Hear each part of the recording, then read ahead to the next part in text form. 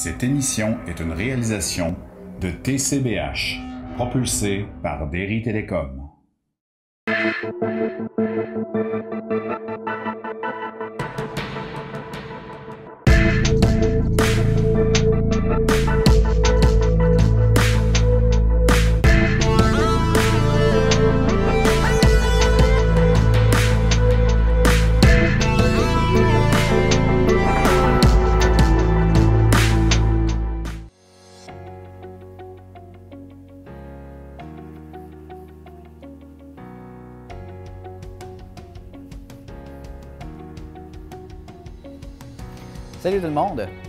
Une entrée un peu bizarre, là, je l'avoue, mais euh, j'essaie toujours de vous surprendre un peu. J'espère que vous vous portez bien. Cette semaine, au menu de l'émission, ça va ressembler un peu à la semaine dernière. Je vais vous présenter en entrée de jeu un point de presse virtuel qu'on a eu, cette fois-ci sur un projet de recherche régional sur le maintien à domicile des aînés. Également, vous aurez droit à la troisième chronique du maire avec Jean-Pierre Rioux, maire de la ville de Trois-Pistoles. Et finalement, un reportage que j'ai pu faire chez Fibre de Verre Rio.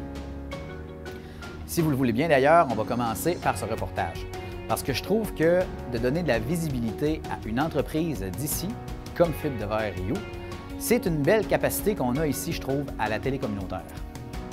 Vous pourrez entendre Jérôme et Pascal Gagnon, respectivement directeur de la division industrielle et présidente directrice générale, qui nous parleront de la passation de pouvoir récente eu au sein de l'entreprise. En effet, Jérôme a délaissé euh, sa fonction de président à sa sœur Pascal pour pouvoir se concentrer un peu plus sur des projets euh, personnels. Quant à elle, Pascal va nous parler du défi que ça représente de diriger une telle entreprise. Sur ce, ben, je vous souhaite un bon visionnement.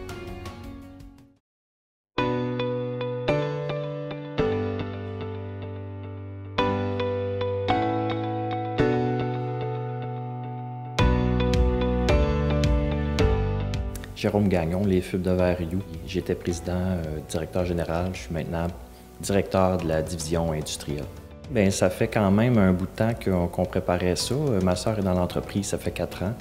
Puis euh, moi, j'avais des projets que je voulais faire de, un peu plus personnels. C'est sûr que euh, d'être euh, propriétaire d'une entreprise ayant 35 employés à son service, c'est quand même lourd un peu la responsabilité. Il faut toujours voir au, bien de chacun. Puis ça fait depuis que j'ai 16 ans que je suis propriétaire d'une entreprise. De là la venue de Pascal. Les fibres de verre You, ça fait 40 ans que ça existe. Ça a commencé à la base par une entreprise de fabrication d'escaliers et de balcons en fibres de verre. Au fil du temps, il s'est ajouté du moulage. Ça a occasionné une forte croissance chez Fibres de verre You. Cette croissance-là a par la suite apporté une diversité de fabrication puis c'est ce qui fait qu'on est ce qu'on est aujourd'hui, c'est que maintenant on a une entreprise opérant dans quatre secteurs d'activité. Fait qu'on vend partout dans le monde, en Chine, en Australie, en Afrique, en Europe. On, fait tous les continents, sauf, sauf l'Antarctique. On a reçu un prix au sommet entrepreneurial des Basques pour la formation et les ressources humaines. C'est quelque chose qu'on est très fiers parce qu'on a mis beaucoup d'efforts dans ça. Euh, former les employés, les encadrer, euh, améliorer aussi toutes les conditions de travail. Les employés chez Fibre de Verre You, euh, c'est le moteur de la production, donc c'est le moteur aussi économique de Fibre de Verre You. Donc c'est quelque chose qui doit être pris soin. Puis euh, avec les, contextes de pénurie et tout ça, ça nous emmène à, se dépasser comme employeur au niveau des politiques et des avantages qu'on peut apporter euh, à ces travailleurs-là. Puis c'est une richesse qu'on veut euh, maintenir, mais qu'on veut aussi accroître. Pascal Gagnon chez Fibre de Verre Rio, je suis présidente directrice générale. C'est un changement qui se fait graduellement. Là. Jérôme est encore dans l'entreprise, puis je prends des dossiers de plus en plus. Euh, c'est sûr que dans les prises de décision, euh, je suis plus impliquée, puis euh, je vais être la personne qui va trancher au final sur les questions plus importantes, puis la direction de l'entreprise. Mais globalement, moi et Jérôme, on a une vision très, très semblable. Là, fait qu'on continue de se consulter, puis c'est sûr que c'est un gros défi, mais ça me motive tellement, je suis tellement comme stimulée par mon travail que c'est une charge que je prends volontiers. Je pense que toutes les expériences sont pertinentes, euh, peu importe professionnellement que personnellement.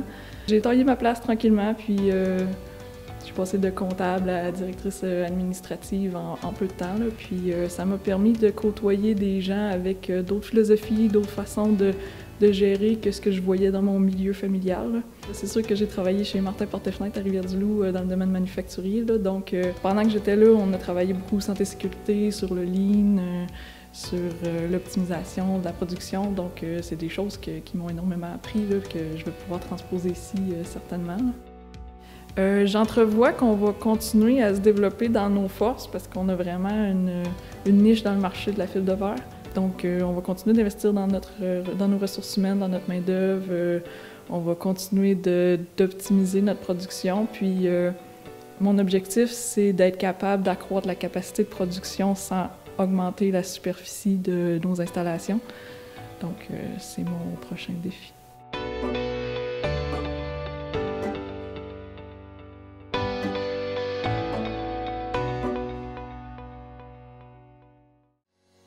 On est de retour. J'espère que ce reportage vous avoir informé un peu plus sur cette entreprise de chez nous. C'est sûr qu'on s'imagine quand même assez bien, là, ça a l'air de quoi une shop de fibres de verre et le travail qu'il y a à y faire. Par contre, laissez-moi vous dire que personnellement, j'ai été impressionné de voir les employés à l'œuvre. C'est pas un milieu qu'on côtoie, en tout cas que moi je côtoie tous les jours, puis ça m'a permis de voir l'envers du décor. Vous savez, des modules de glissade d'eau, on y est tous, on y est tous déjà presque embarqués, euh, mais d'en voir la fabrication, de voir comment c'est réalisé, c'est vraiment impressionnant. À présent, on va aller voir la troisième chronique du maire avec Jean-Pierre Rioux, maire de la ville de Trois-Pistoles.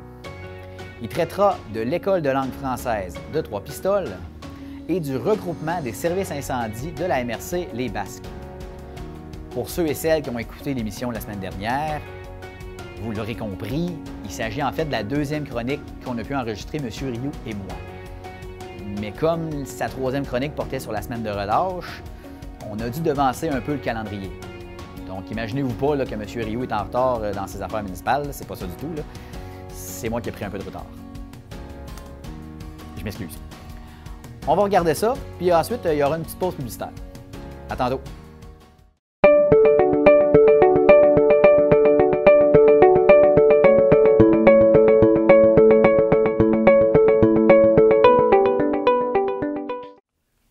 Alors bonjour à vous tous. Merci encore à T. CBH de pouvoir m'accueillir comme maire. Alors, euh, il y a deux sujets aujourd'hui que je vais vous traiter. C'est celui de l'École de langue française à Trois-Pistoles, que la plupart des citoyens connaissent, puis c'est régional aussi. Et l'autre, je vous parler aussi du système de recoupement des incendies qu'on a fait euh, dans notre milieu ici, surtout euh, dans le bas pays du, territoire, si vous voulez. Alors, je vais commencer mon premier sujet, qui est l'École de langue française. Vous savez que l'École de langue française, on est associé avec l'Université Western de London, Ontario. Euh, elle est en place ici à Tropsol depuis 1933. C'est la première école d'immersion de langue française qui a été mise sur pied au Canada. On est la première et la plus ancienne parce qu'elle est encore en force. Même durant la Deuxième Guerre mondiale, entre 1939 et 1945, des cours de langue, d'immersion de langue française ont été tenus ici à Trois-Pistoles, pareil. Alors, euh, la particularité, vous la connaissez, c'est que les étudiants de partout du Canada euh, vivent dans les familles ici et viennent apprendre le français carrément dans un milieu qui est à 99,9% francophone. Or, il y a un ennemi commun qui nous a frappé en plein fouet depuis l'an passé et cette année. Ça s'appelle le coronavirus. Alors, le COVID-19 nous a rentré dedans à plein fouet. C'est ce qui fait que l'an passé, l'École de langue française n'a pas pu euh, dispenser ses cours ici. Fait que Western a dû annuler pour des raisons que vous connaissez. Alors, euh, la session de mai, euh, de printemps et celle de l'été passé a été annulée et c'est environ 300 euh, étudiants par session à peu près qui venaient ici, y compris les professeurs, les animateurs. Ça fait une belle vie culturelle au milieu et économique, mais on a perdu ça l'an passé. Fait que j'étais en contact avec la haute direction de l'École de langue française à London, Mme Azari, qui est la directrice. Et l'an passé, elle nous a dit, ben, on va laisser passer les choses, puis en 21, si tout est correct, on va revenir à nouveau, euh, continuer notre, nos cours d'immersion. Et avec la pandémie qui est encore en force, ne sachant pas jusqu'où on va se rendre avec ça. Alors, Mme Azari m'a informé la semaine dernière, il y a deux semaines passées, que Western University annule encore ses cours d'immersion de langue française à trois pistoles pour le printemps 2021 et l'été 2021. Donc, une perte là, euh, culturelle dans notre milieu qui est énorme et financière aussi. Par contre, elle m'a bien spécifié, ce n'est que temporaire. Euh, les cours vont se donner à distance, bon, avec les moyens qu'on a aujourd'hui, Zoom et compagnie. Alors, euh, mais elle dit, par contre, pour 2022, si tout est rentré dans l'ordre, on va reprendre comme on a fait depuis 1933, c'est-à-dire débarquer à trois pistoles et vivre au rythme de la population en donnant des cours de langue française à nos étudiants anglophones. Donc, partie remise, école de langue française pour 2022, mais en 2021, c'est annulé complètement. Mon deuxième sujet, euh, c'est un sujet plus chaud, euh, je dirais même incendiaire, c'est le système des incendies. Vous savez, toutes les populations de la province de Québec, y compris la MRC des Basques, on parle du OPU ici, là, qui, euh, vous êtes à, l'écoute aussi, euh, ont un besoin. Les municipalités, on a, tous un maire, puis, ou une mairesse ou un conseil municipal dans chacun des milieux. Et chacun des conseils municipaux de ces municipalités, si petites qu'elles soient, ont l'obligation légale de protéger les citoyens contre les incendies, puis ont l'obligation légale aussi de protéger votre bien physique, c'est-à-dire vos maisons, garages, tout ce que vous avez de, matériel qui est euh, taxé, là, puis vous avez des taxes, puis vous payez vos taxes. Là. Alors, toutes les municipalités euh, du territoire de la province de Québec, mais ici la MRC aussi, sont tenues de démontrer dans un schéma de couverture de risque que la sécurité civile euh, nous euh, remet et exige que chacune des municipalités soit en ordre au niveau des équipements et pour combattre les incendies. Alors, on se doit d'être comme ça. Quand je suis rentré, moi, comme maire, il y a 20 ans passé à l'Hôtel de Ville, euh, nous avions un vieux Ford 54 ou 56, là, qui avait, c'était pas des kilométrages à l'époque, c'était tellement vieux, c'était des, millages. C'était un camion qui se, voyait en millage, mais ça avait peut-être 5 000 milles, 6 000 milles. C'est environ 11, 12, mettons, 12 000 kilomètres. C'était neuf. Alors, tous les municipalités au Québec, à l'époque, il y a 20, 25 ans passés, sauf les grands centres, les camions sortaient de temps à autre. Fait qu'il n'y avait pas de millage. Fait les conseils municipaux disaient, on ne peut pas changer ce camion-là, il est neuf, il n'y a, pas de millage. Mais on s'est fait prendre notre, propre jeu comme municipalité. C'est que l'année même que je rentre, euh, il y avait eu un incendie ici au deuxième rang de Trois-Pistoles. Et le camion n'a pas pu s'y rendre parce qu'il était en panne. Et quand on a eu besoin d'équipements, entre autres comme une scie mécanique pour ouvrir un trou dans la toiture pour laisser passer la, boucane, puis c'est une technique d'incendie, bien, Colline, la scie mécanique, les, les scies ne partaient pas. Fait que, vous savez, quand un incendie arrive, euh, ceux qui assurent votre propriété ont un œil, puis l'idée de l'assureur, c'est de vous protéger, vous assurer, mais c'est aussi de ne pas payer. Alors, quand arrive un incendie, aujourd'hui, demain ou après-demain, si l'incendie pogne, souvent l'assurance qui vous couvre est informée de ça. Alors, il y a des représentants dans chacun des milieux et les assureurs, souvent, vont s'empresser d'aller sur les lieux du sinistre, observer si euh, vous avez euh, des pompiers formés, parce que ça prend un rapport, si vous avez des camions conformes, vous avez des boyaux, des outils conformes, si vous avez assez de pompiers aussi pour éteindre le feu. Donc, tout ça, là, c'est de la responsabilité municipale. Et les municipalités qui n'ont pas tous ces critères-là de, mise en place qui, représentent, qui sont représentés dans un schéma de couverture de risque risquent des problèmes. En tout cas, je ne voudrais pas être le maire qui vivrait ces situations-là, parce que je ne dormirais pas mes nuits. Pour une raison fort simple, si dans un incendie, quelqu'un meurt, si euh, votre propriété passe au complet, eh bien, si l'assurance démontre que vous n'étiez pas conforme à différents niveaux, bien, c'est la municipalité qui est poursuivie, comme on a été, nous autres, il y a 20 ans passés, ça a coûté un demi-million, pas loin. Alors, je vais vous dire une chose, on s'est redressé vite, puis on s'est dit, on va s'équiper comme il faut, puis on va se faire former nos pompiers. C'est ce qui fait que notre, euh, investissement qu'on a fait ici à Trois-Pistoles euh, joue autour de 4 millions environ. On parle des camions neufs, tout l'équipement, caserne neuve, qui est la rue Notre-Dame. Bref, on est équipé, puis on est, à l'heure actuelle, au niveau du territoire, une des municipalités qui semble être conforme en tout point par rapport à ce que le gouvernement exige de nous pour nous protéger. Parce que c'est ça que le gouvernement dit, c'est qu'il dit aux municipalités, investissez dans vos organisations pour être conformes. Et si vous avez une poursuite de la part de l'assureur, et puis que vous êtes conforme par rapport aux équipements et aux formations de vos pompiers, le gouvernement va nous défendre, va nous protéger comme ville contre des poursuites. Et c'est ça l'avantage. Mais si tu n'es pas conforme, le gouvernement ne te défendra pas et ne te protégera pas. Donc, c'est ça la beauté de la chose.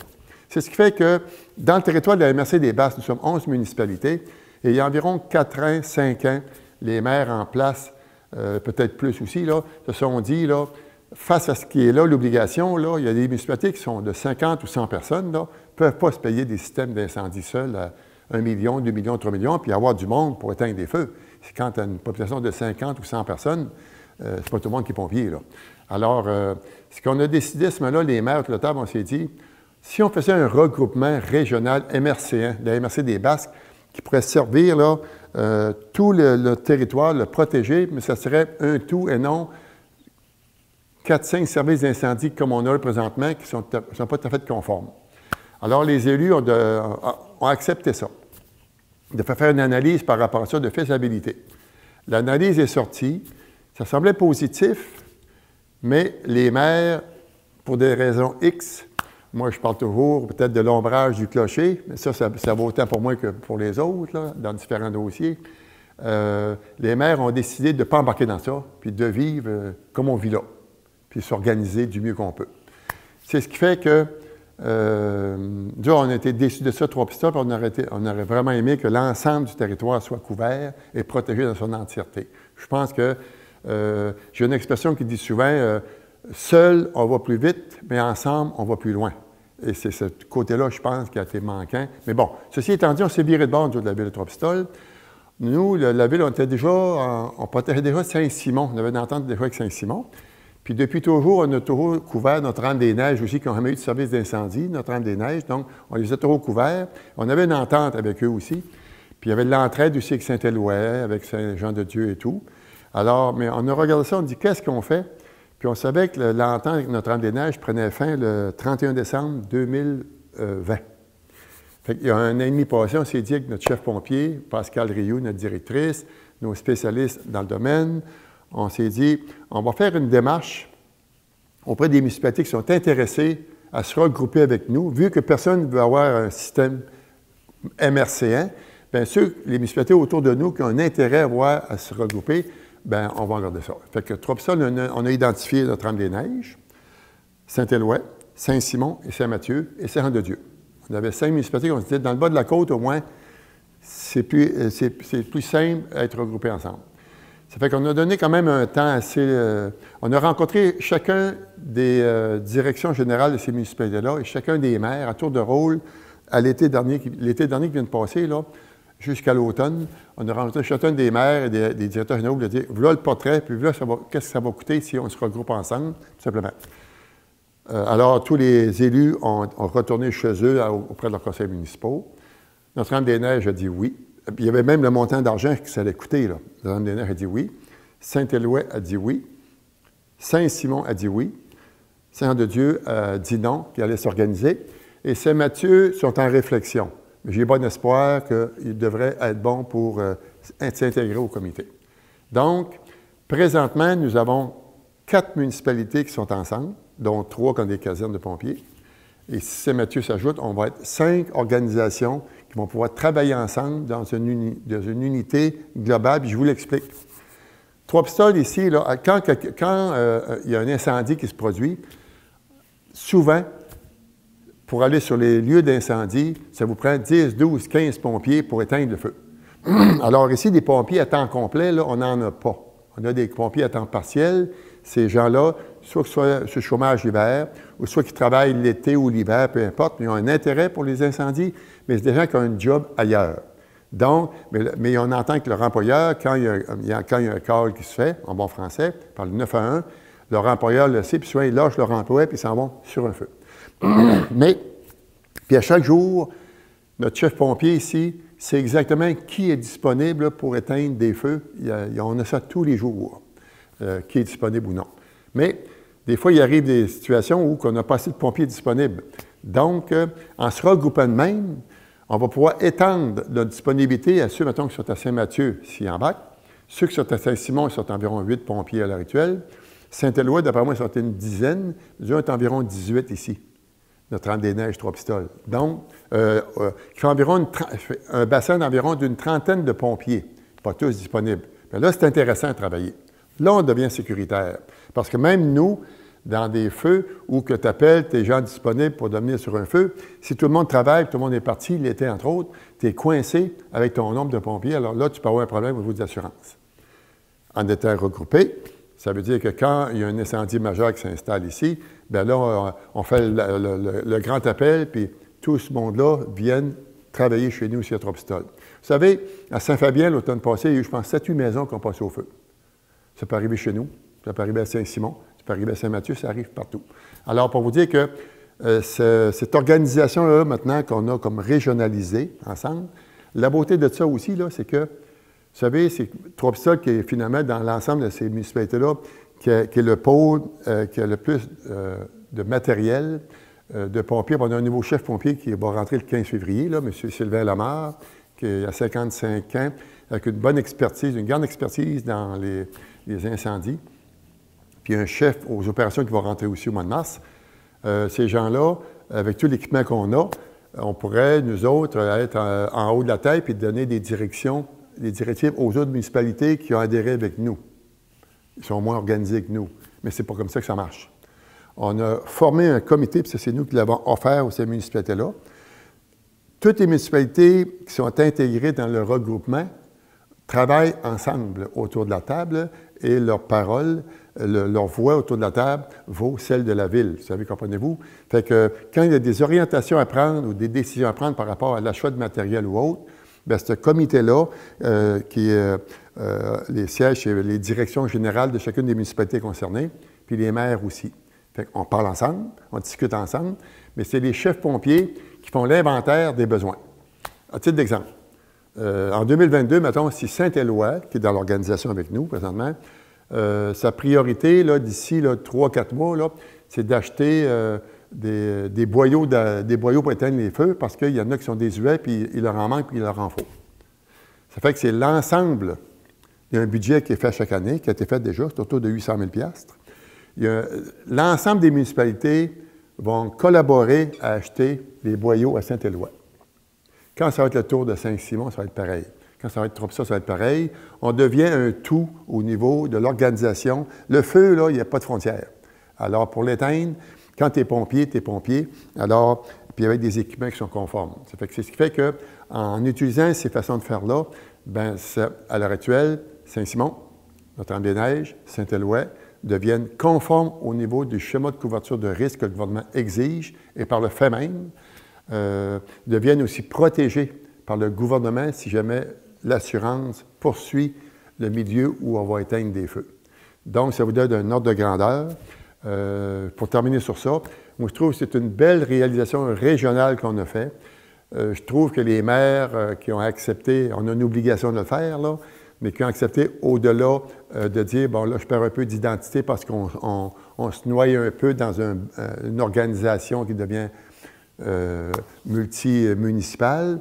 Mais au-delà de ça, ce qui importe, c'est que les citoyens, que chacune des municipalités qui sont ensemble autour de la table présentement, le font pour protéger son citoyen, sa vie, s'il meurt dans un incendie, puis la propriété du citoyen aussi. Alors, présentement, je peux vous dire que, euh, pour utiliser une expression qu'on entend souvent, nous sommes en voiture de pompiers et pour éteindre des feux. Alors, merci.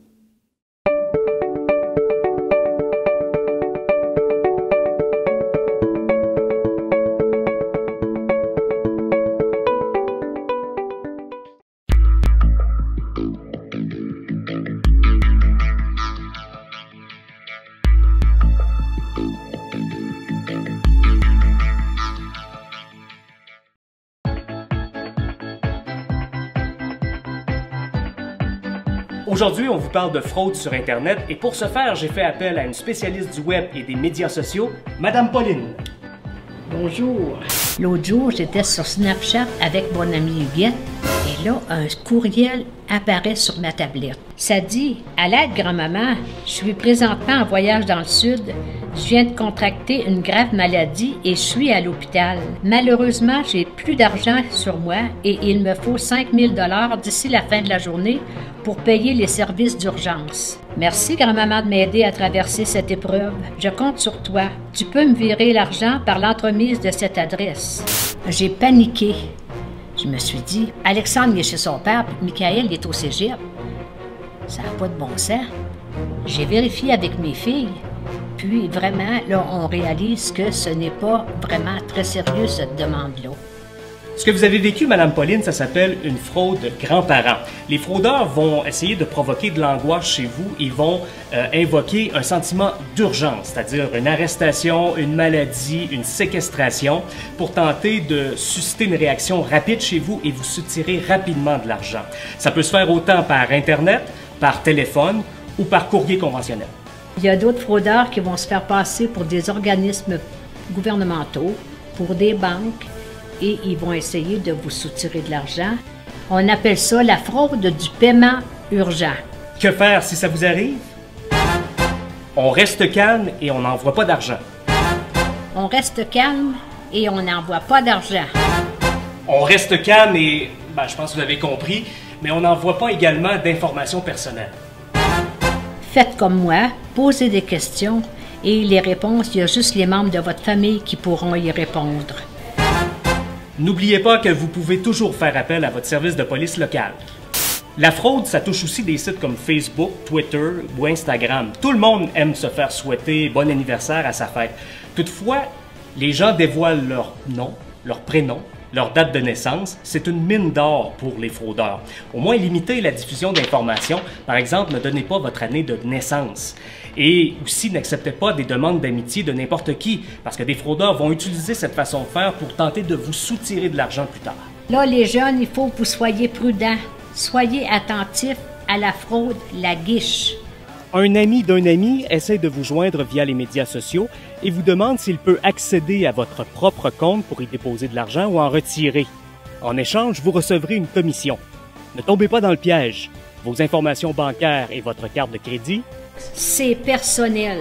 Pour d'autres conseils de prévention, je vous invite à consulter le livret La fraude en 3D disponible sur le site web de la Sûreté du Québec.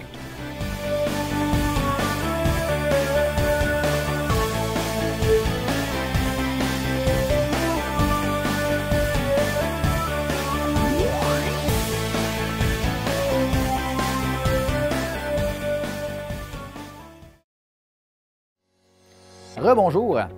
On est rendu à la moitié du contenu d'émission. J'en profite donc, avant de vous envoyer vers la prochaine vidéo, pour vous rappeler que si vous voulez nous soumettre un sujet de reportage, vous pouvez le faire absolument sans problème à l'adresse courriel qui apparaît au bas de l'écran ou encore en nous appelant à ce numéro, euh, celui-ci. Bien entendu, euh, je vous invite à nous suivre sur Facebook en cliquant sur le petit bouton euh, J'aime et à vous abonner tout à fait gratuitement à notre chaîne YouTube. Sur ce, on s'en va voir le point de presse virtuel sur la recherche régionale sur le maintien à domicile des aînés. C'était organisé par le collectif régional de développement du Bas-Saint-Laurent.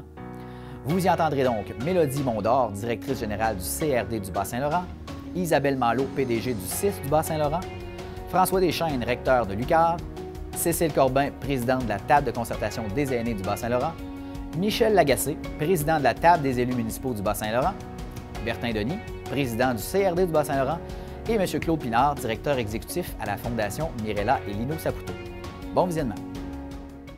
Bonjour à tous et à toutes. Merci pour votre présence ce matin pour cette importante annonce. Donc, brièvement, euh, le collectif régional de développement a été mandaté euh, d'accompagner les partenaires du milieu valorancien pour la réalisation du projet de recherche-action pour le maintien à domicile des aînés et la vitalité des communautés du Bas-Saint-Laurent. Donc, je vous présente brièvement la nature du projet avant les allocutions. Euh, donc, voilà, comme Là, présentement, nous sommes dans la phase préparatoire d'un important projet de recherche qui va viser le dépôt d'une programmation de recherche pour transformer les services de maintien à domicile sur une période de cinq ans. Donc, actuellement, on est dans une phase préparatoire qui s'échelonne sur un an. Durant cette phase-là, on prépare un devis de recherche qui va prévoir des changements sur les cinq prochaines années.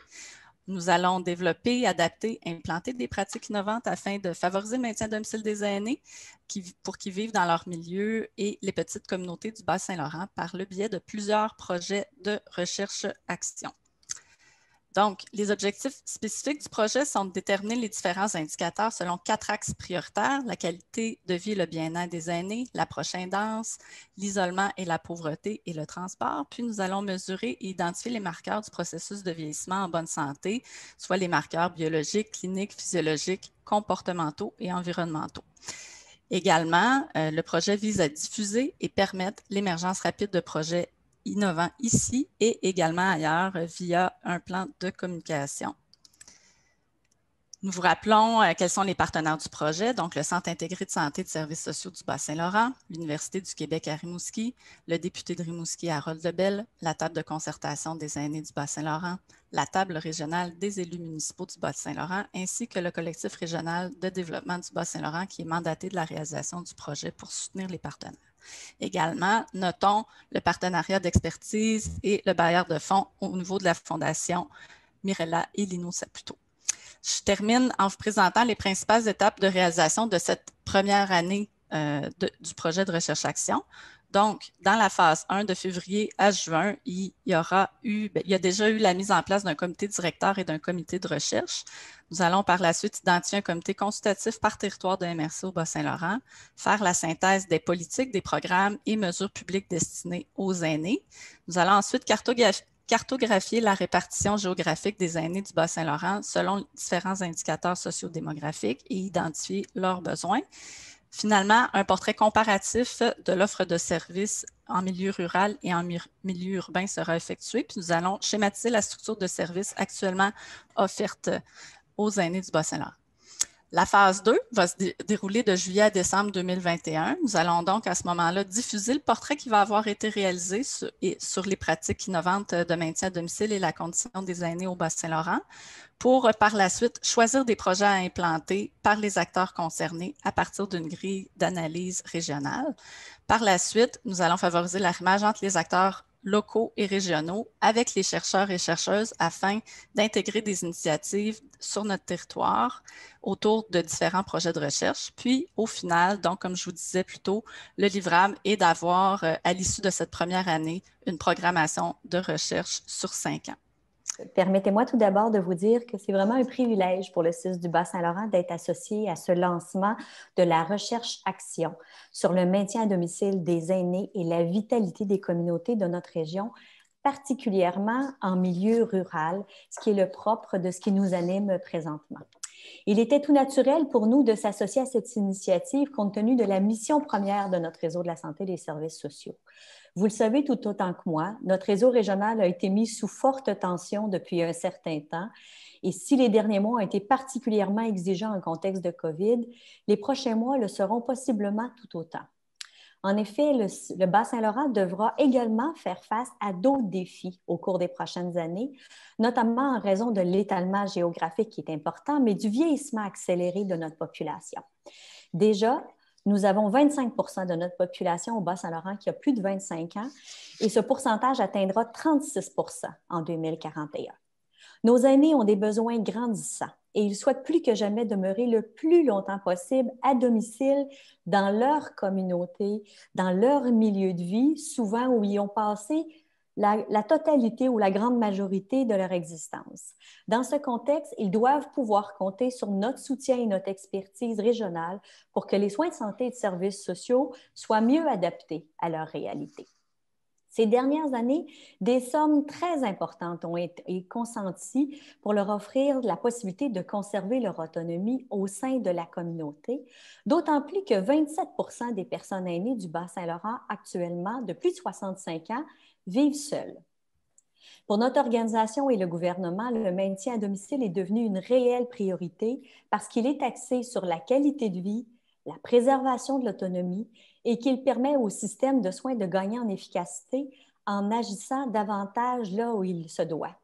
Et sans faire de, grandes euh, euh, avancées sur les chiffres, je veux quand même vous dire qu'au cours des cinq dernières années, c'est 16,9 millions récurrents qui ont été investis au CIS du Bas-Saint-Laurent uniquement dans les secteurs de services à domicile pour les personnes âgées en perte d'autonomie ou les personnes qui ont une déficience physique ou intellectuelle. C'est 177 postes équivalents en complet qui ont été créés. On est passé en cinq ans de 5000 personnes desservies en soutien à domicile et cette année, au 31 mars, on pense qu'on aura atteint 18 000 personnes desservies en soutien à domicile dans l'ensemble de la région. Toutefois, toutes ces nouvelles formes de soutien auprès de nos aînés ont nécessité de modifier l'organisation des soins et services pour améliorer l'accès, la continuité et la qualité. Désormais, notre région assure un accompagnement beaucoup plus étroit aux personnes qui désirent demeurer à domicile et c'est grâce entre autres, grâce, entre autres pardon, au travail en interdisciplinarité, bien sûr, à l'implantation de nouvelles activités cliniques, notamment en gestion des maladies chroniques où on s'est vraiment développé au cours des dernières années et même allant jusqu'aux soins palliatifs de fin de vie au domicile des personnes. On ne le répétera jamais assez, il faut d'abord agir sur la prévention favoriser les saines habitudes de vie et développer une offre de services qui soit intégrée, continue, sécuritaire et coordonnée avec les différents prestataires de soins et de services. Il faut également favoriser l'enseignement, l'autogestion et également la responsabilisation de chaque personne pour qu'ils prennent en charge leur santé.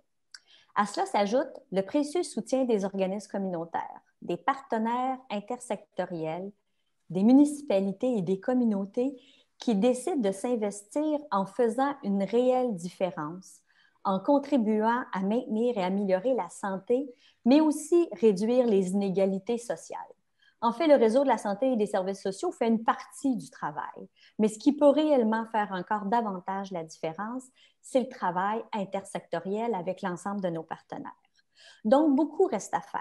Nous pouvons faire davantage pour garder notre communauté régionale en santé, dans une réelle approche de continuum de soins et de services.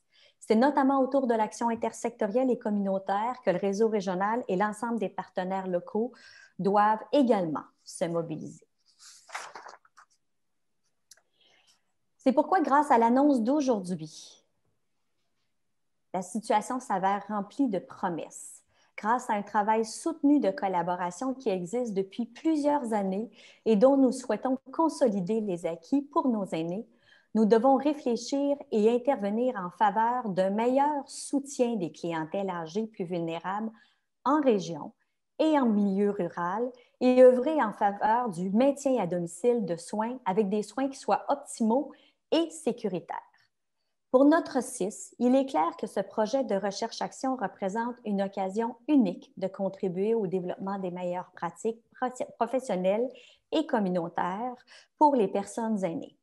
Ce projet constitue aussi en quelque sorte une extension de l'approche vieillir en santé qui nous anime plusieurs entre nous. Je dirais même que cette approche-là nous galvanise depuis plusieurs années. Alors, je remercie nos partenaires avec qui on entretient des liens aussi étroits. Lucar, qui consolide encore une fois aujourd'hui ses activités en matière de santé et de services sociaux. La table de concertation des aînés euh, du Bas-Saint-Laurent, la table régionale des élus municipaux et le collectif régional de développement. Un merci vraiment tout particulier à la Fondation Mirella et Lino Saputo, qui appuie d'une façon très tangible et soutenue cette transformation intégrée des services de maintien à domicile pour les aînés. C'est ce que souhaite notre population, le gouvernement et nos élus. On a tous grandement à cœur le maintien à domicile, mais également le soutien de nos aînés dans leur collectivité. D'avance, je suis certaine des succès qui nous attendent et qui prendront appui sur la précieuse expertise et le soutien de chacun, sur notre volonté commune d'adresser le développement d'une offre de service en communauté, mieux adaptée à la réalité de chacune de nos aînés, chacun de nos, de nos personnes aînées.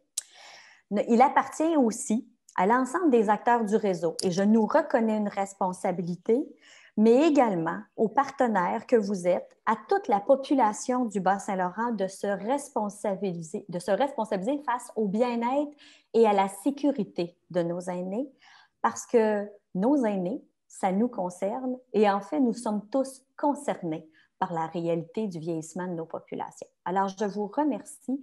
C'est une très belle journée, c'est une belle avancée et ensemble, je suis convaincue qu'on va être capable d'aller encore plus loin dans le maintien à domicile de nos aînés en communauté. Merci à vous.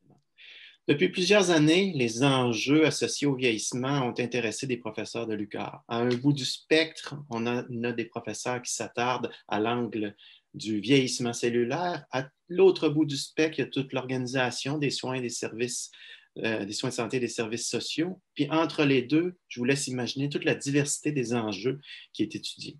Toutes ces recherches ont un grand objectif transversal, c'est-à-dire de mieux comprendre pour mieux agir afin de permettre un vieillissement en santé dans son milieu de vie.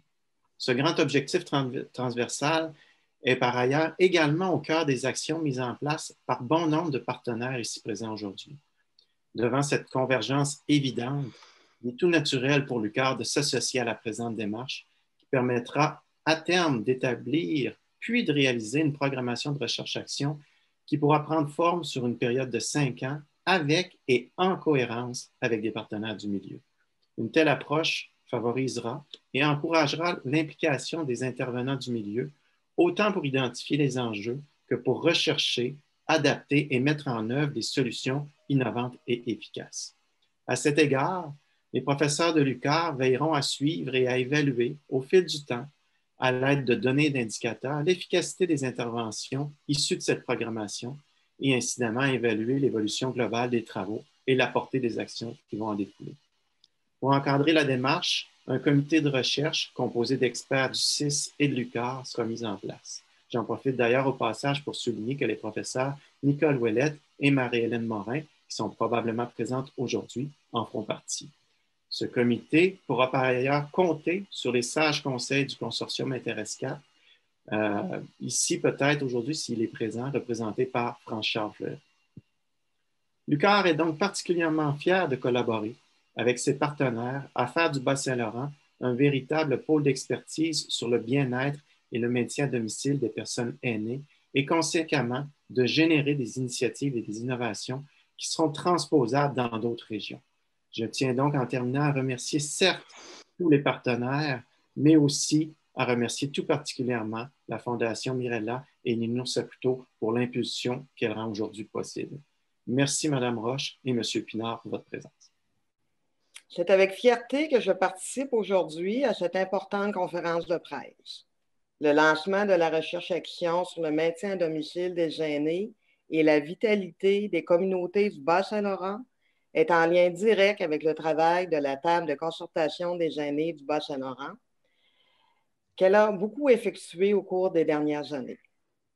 Forte de son réseau régional, entre 2017 et 2020, la table de consultation des aînés du Bas-Saint-Laurent effectuait une tournée et des consultations du milieu pour finalement transmettre en mars 2020 un rapport détaillé incluant des recommandations à la ministre responsable des aînés et des proches aidants. Pour nous, il est primordial que la région du Bas-Saint-Laurent se distingue comme région modèle en matière de vieillissement en santé. Pour ce faire, la TCA-BSL, a émis quatre recommandations à la ministre. Recommandation numéro un, les besoins de suivi, une façon d'assurer le maintien des liens entre le régional et le local.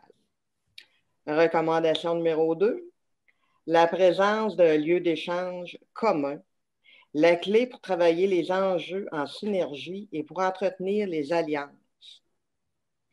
Recommandation numéro 3, le soutien aux actions locales, une garantie de continuité et de mobilisation. Recommandation numéro 4, le partage de bons coups, une occasion d'aller plus loin et de se distinguer.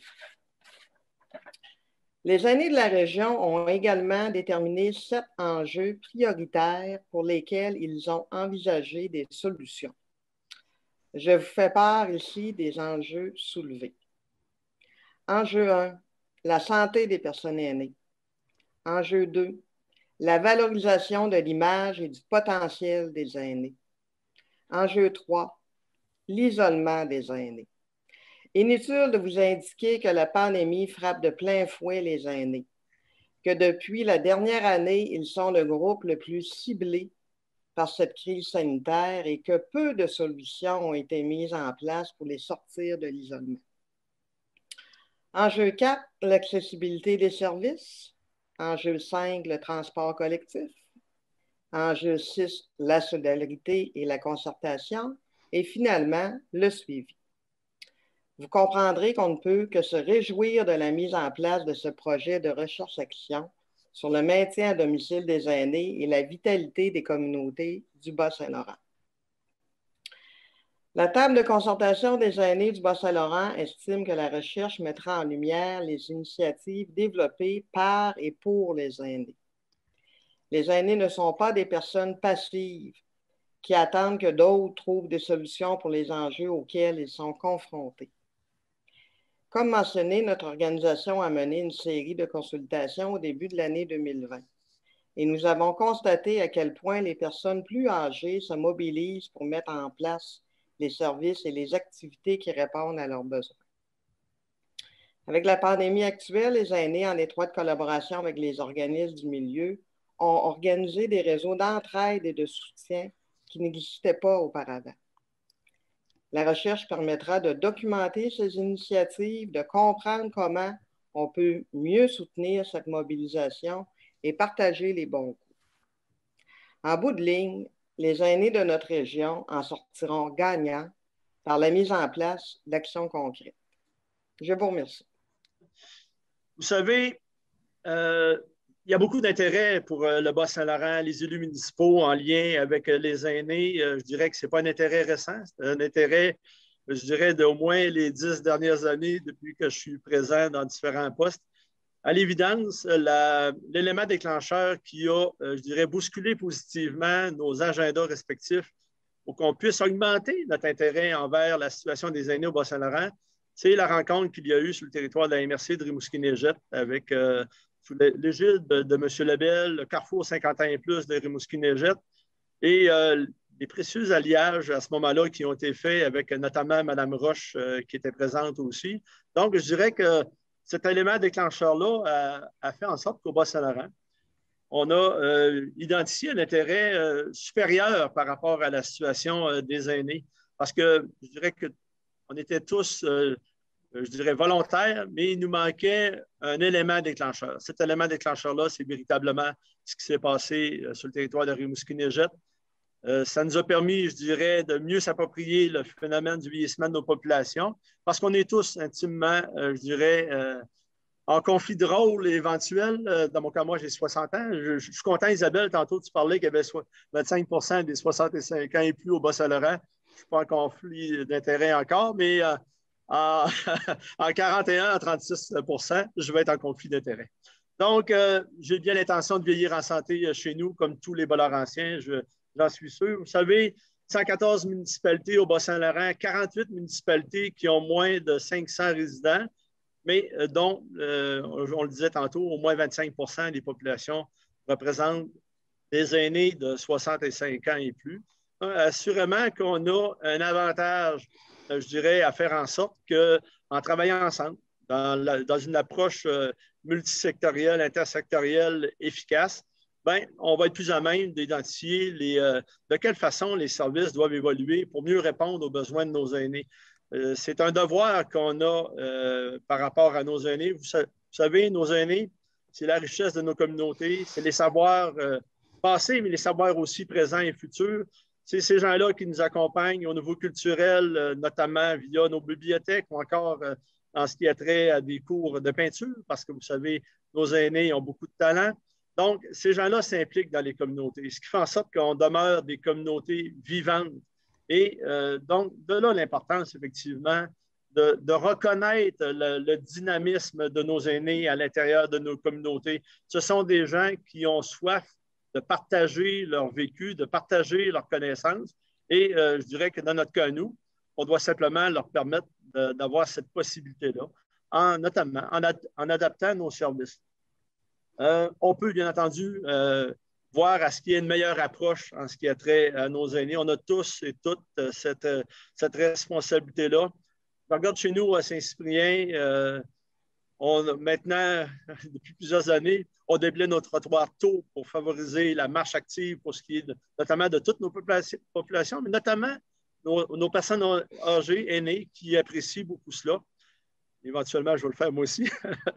Et euh, dans le cas des, des aînés, puis de le parcours qu'on est en train de vivre actuellement, je veux vraiment saluer, je dirais, l'ouverture de Mme Roche et bien entendu de M. Pinard de la Fondation, de Mme Mirella et Lino Saputo, car sans eux aujourd'hui, on ne serait pas à travailler tous ensemble sur un modèle qui éventuellement va fleurir ailleurs au Québec. Donc, c'est à ça que le défi des anciens est, mis, c'est-à-dire comment on peut mieux travailler ensemble avec des acteurs de premier niveau. Bien entendu, le CIS, euh, bien entendu, l'UCAR, les tables de concertation des aînés, mais en même temps aussi euh, les élus municipaux qui savent fort bien qu'un élu, euh, pas un élu, une personne âgée, aînée, ce n'est pas une personne malade, c'est une, une aînée qui est présente dans nos milieux, qui apporte beaucoup.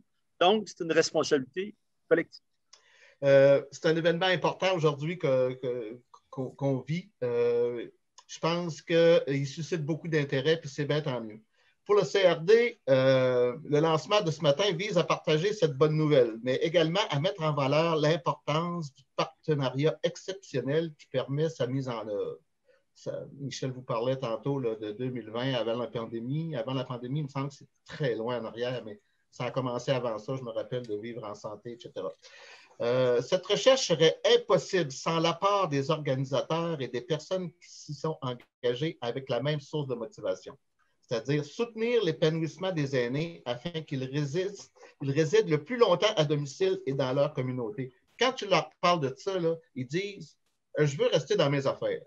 Ben, rester dans ses affaires, euh, il faut travailler fort pour que ça se réalise parce qu'il fut un temps où la mode, c'était partir avec ton char, t'en aller au CHSLD. Euh, on n'est plus là, on est tellement plus là. Euh, c'est important de viser à rester dans nos affaires. Je tiens à préciser que ce projet répond à plusieurs des priorités régionales du Bas-Saint-Laurent, priorités que nous avons réaffirmées en mai 2019 lors du rendez-vous des partenaires du développement régional. Il y, en avait, il y en avait six, mais l'activité qu'on lance aujourd'hui répond entre autres et principalement à à servir pour l'équité entre les personnes et les collectivités, entre un environnement sain et une vie de qualité, et bien sûr maintenir la vitalité euh, de nos communautés et principalement de nos communautés rurales. Le rôle du CRD dans ça, ce sera de la coordination et le soutien. Croyez que nous sommes engagés à fond avec notre équipe pour déployer euh, cette phase 1 qu'on lance aujourd'hui et assurer la, concrétisation de la deuxième phase.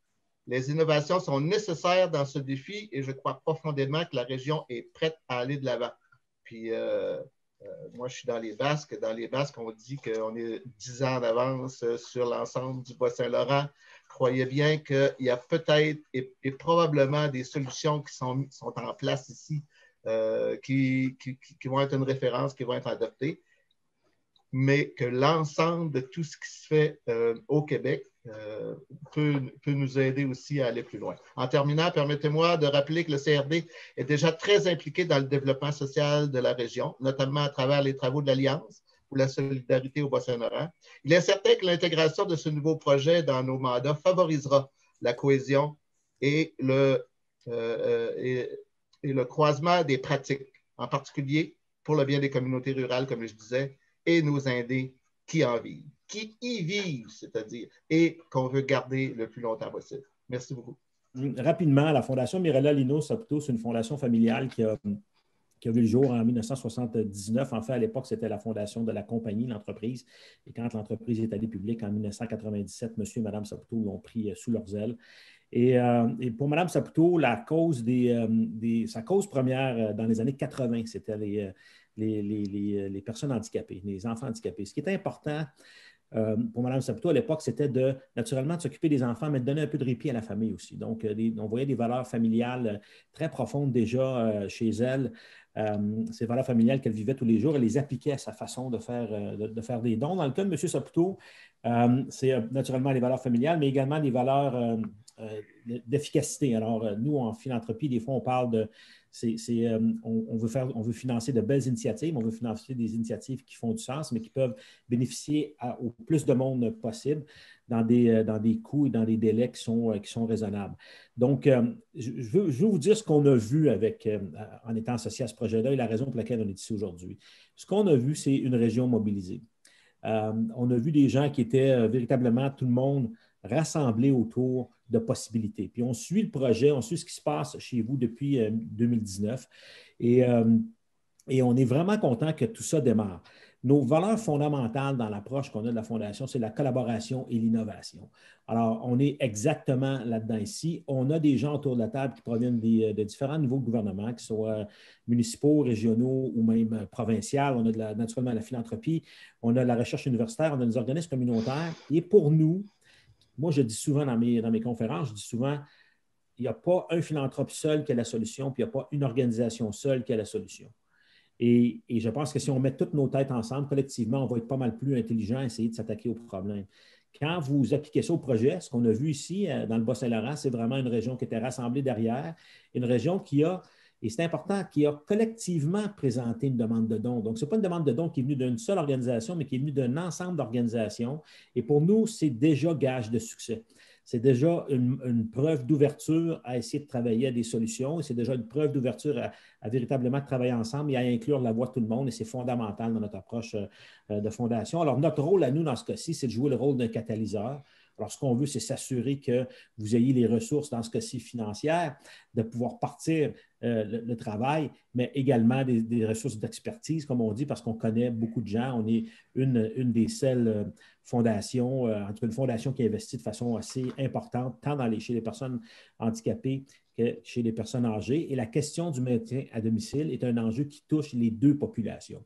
Donc, quand quand M. Deschaines parlait tantôt qu'il a hâte de se mettre à l'action, et quand on parle de recherche-action, c'est très important pour nous parce que ce qu'on fait, ce qui va arriver ici euh, dans le, dans le Bas-Saint-Laurent va servir non seulement dans le Bas-Saint-Laurent, mais nous, on va s'assurer de le diffuser dans l'ensemble du Québec. Donc, les meilleures pratiques peuvent être répliquées dans les deux secteurs, tant personnes âgées que personnes handicapées, mais non seulement dans le Bas-Saint-Laurent, mais utiliser les apprentissages que les chercheurs et les innovatrices sociales vont, vont, dégager dans le but de pouvoir s'assurer qu'elles puissent bénéficier à un plus grand nombre de personnes sur euh, le territoire euh, du Québec. Et enfin, je veux remercier tout le monde de, cette, de, ce, de, ce, de, ce, beau démarrage ce matin et j'insiste sur le fait qu'on est vraiment en présence d'un projet de collaboration et véritablement, c'est rare que les gens viennent nous chercher. Et dans ce cas-ci, c'est vraiment la région qui est venue nous chercher, qui nous a attrapés par le cœur, qui a dit, écoutez, nous, on va se mettre au travail pour l'ensemble de nos, citoyens, mais également avec l'ensemble des organisations, l'ensemble des différents niveaux euh, palier gouvernement. Puis pour nous, c'est essentiel à la mise en place d'un projet qui peut avoir du succès. Donc, merci beaucoup tout le monde.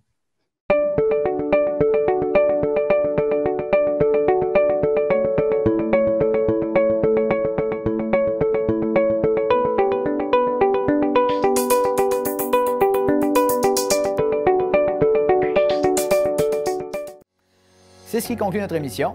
J'espère encore une fois que vous aurez aimé les reportages euh, qu'on vous a présentés. Euh, je vous souhaite euh, une belle semaine. Le mois de mars commence avec des bons vents, on va se le dire. Mais moi, je me dis que c'est la nature qui nous envoie un signe pour nous dire que le COVID, la pandémie, tout ça, le vent est en train de virer de bord. En tout cas, j'espère. Donc, à la semaine prochaine, tout le monde. Salut!